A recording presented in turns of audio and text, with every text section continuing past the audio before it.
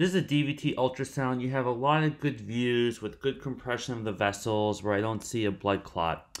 Um, this clip, though, I just wanted to uh, go over with you. I- I'm not sold there's a blood clot, but it's a concerning clip.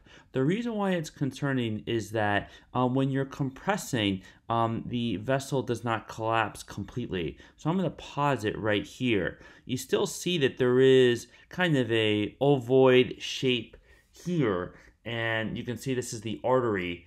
When I play the clip, the vessel never really fully collapses, and so that makes me wonder, is there a clot here?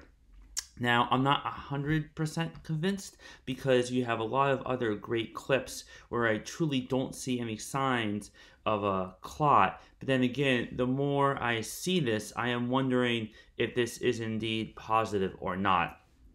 If you're unsure um, and there's a positive D dimer, I, I, often do schedule an outpatient vascular study um, just to confirm if this is truly a clot or not. I can't definitively say that this is a blood clot. Um, and the more I, I watch it, I really can't go one way or the other. But this is slightly concerning for the fact that this vessel really does not um, collapse completely. I hope this video makes sense. I mean, if you have any questions, thanks for saving.